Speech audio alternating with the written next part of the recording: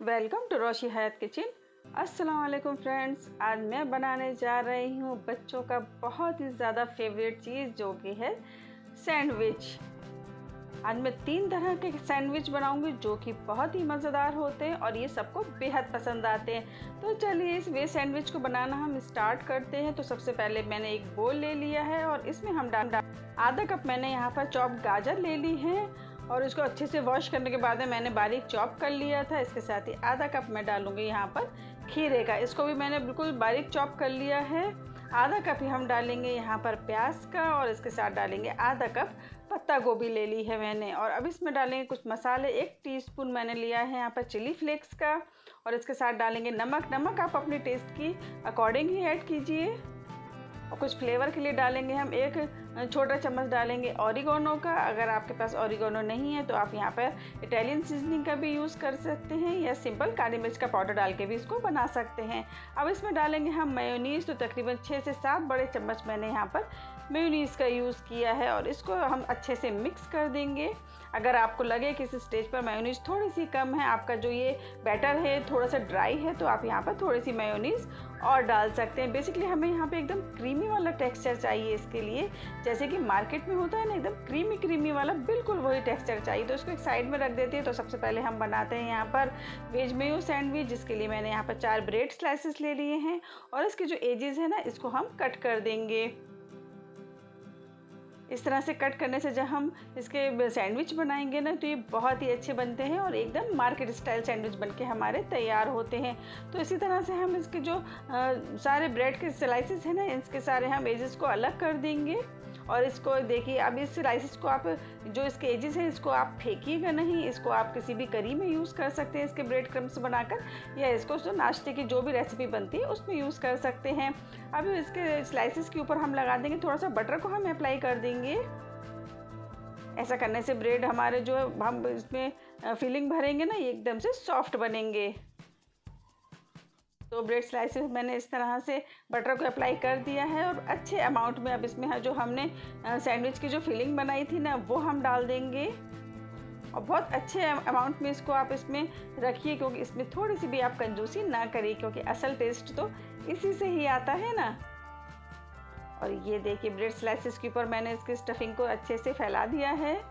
और जो बाकी का जो स्लाइसिस बचे थे ना, उसको हम इस तरह से इसको कवर कर देंगे और ये बन गए हमारे वेज मेयो सैंडविच।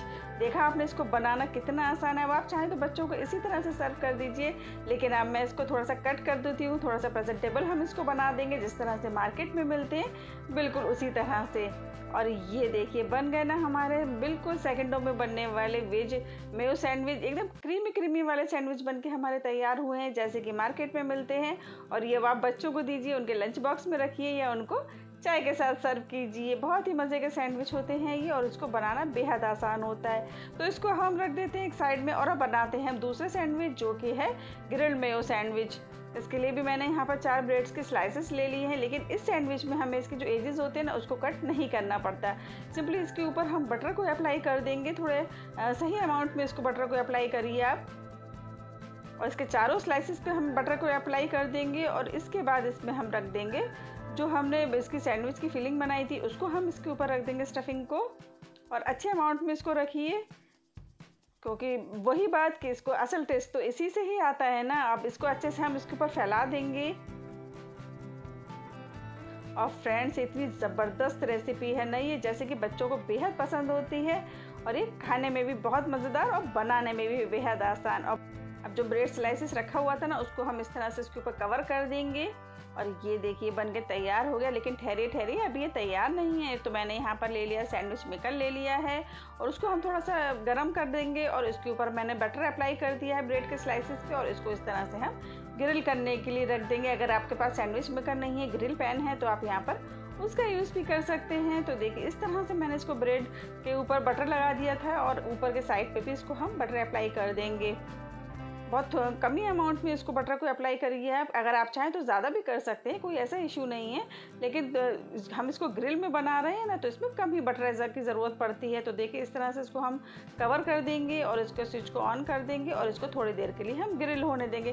तकरीबन मना मान लीजिए इसको ग्रिल होने में हमें वक्त लगेगा दो से तीन मिनट का। और ये देखिए तीन मिनट के बाद मैंने इसको चेक किया और ये बहुत ही ज़बरदस्त हमारे ग्रिल मेयो सैंडविच बन के तैयार हो गए हैं। बिल्कुल मार्केट वाले सैंडविच बने हैं फ्रेंड्स, जो गर्मा गर्म सैंडविच को आप सर्व कीजिए सॉस के साथ में या हरी चटनी के साथ में। इसको आप चाय के साथ सर्व कीजिए या बच्चों के लंच बॉक्स में। अब हम बनाते हैं तीसरा सैंडविच, जो कि है तवा मेयो सैंडविच।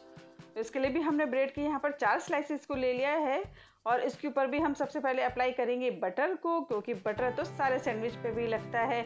और तभी तो ये बहुत ज़बरदस्त होता है फ्रेंड्स सैंडविच को खाने में मज़ा ही आ जाता है। बहुत ही चटपटा सा सैंडविच बन के तैयार होता है ये। देखिए बटर को मैंने अप्लाई कर दिया है इसके ऊपर। अब इसमें हम यहाँ पर लगाएँगे ग्रीन चटनी लगा देंगे। ये तो अमूमन हर घर में रखी होती है ग्रीन चटनी। अगर आपके पास नहीं है तो आप यहाँ पर सिंपल हरी मिर्च, हरा धनिया, नमक, नींबू और ज़ीरा, इन सब के डालकर ग्रीन चटनी बना सकते हैं। और एक दूसरे के ऊपर हम लगा देंगे, यहाँ पर टमाटो केचप लगा देंगे। इसी तरह से हम इसको दूसरे वाले ब्रेड स्लाइसिस के ऊपर भी टमाटो सॉस को लगा देंगे।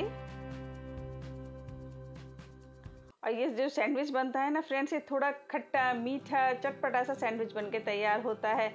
और अब एक ब्रेड स्लाइसिस के ऊपर हम रख देंगे। यहाँ पर इसकी जो फीलिंग थी, उसको हम रख देंगे।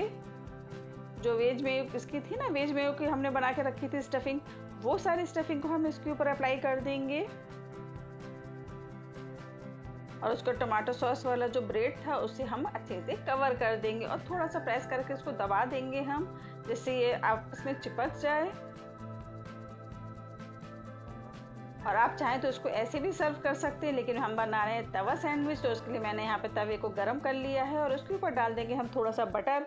बटर को हम मेल्ट होने देंगे और इस तरह से चारों तरफ़ इसको स्प्रेड कर देंगे। और जब बटर हमारा गर्म हो जाएगा तो एक प्लेट की स्लाइसिस को हम इसके ऊपर रख देंगे और उसको थोड़ा सा हम दबा देंगे। आप चाहें तो उसको हाथ से दबा देंगे इस तरह से। जो चम्मच होता है, उससे भी आप इसको दबा सकते हैं।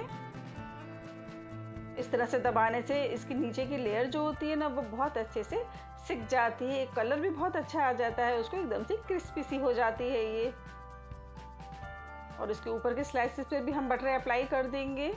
इसको हम पलट देंगे। और ये देखिए फ्रेंड्स आ गया ना मुँह में पानी। क्या ज़बरदस्त हमारा तवा मेयो सैंडविच बन के तैयार हो रहा है। इस तरह से हम इसको दबा देंगे। दूसरी तरफ़ से भी अच्छे से फ्राई होने देंगे। तभी तो हमारे सैंडविच एकदम से क्रिस्पी क्रिस्पी बन के तैयार होगा। और ये देखिए, ये आप देख रहे हैं, फ्रेंड्स, क्या ज़बरदस्त हमारा दूसरी तरफ़ से भी सैंडविच बन के तैयार हो गया है। तो इसको हम निकाल लेंगे एक प्लेट में और जो दूसरा सैंडविच हमने बना के रखा था ना, उसको भी हम इसी तरह से अच्छे से दबा दबा के फ्राई कर लेंगे। देखिए, आप देख रहे हैं, एक तरफ़ से अच्छे से फ्राई हो गया है तो इसको हम इस तरह से टर्न कर देंगे। और क्या ज़बरदस्त हमारा सैंडविच बनके तैयार हुआ है फ्रेंड्स मेरे तो मुँह में पानी आ गया इसको बनाते बनाते. बहुत ज़बरदस्त रेसिपी है. इसको हम निकाल लेंगे एक प्लेट में. और ये देखिए, ये आप देख रहे हैं, हमारा तवा में सैंडविच बन के बिल्कुल अच्छे से तैयार हो गया है फ्रेंड्स अब आप बताइए, आप इसमें से कौन सी रेसिपी ट्राई करेंगे? अरे भाई, एक ट्राई करेंगे तो दूसरे के साथ नाइंसाफ़ी होगी ना? तो आप इस तीनों रेसिपी को ट्राई कीजिए, बहुत ही ज़बरदस्त रेसिपी है. जब आप ये तीनों ट्राई बनाएँगे ना तो आपको तीनों ही रेसिपी खाने का मन करेगा, क्योंकि है इतनी ज़बरदस्त रेसिपी तो उस रेसिपी को आप ज़रूर ट्राई कीजिए।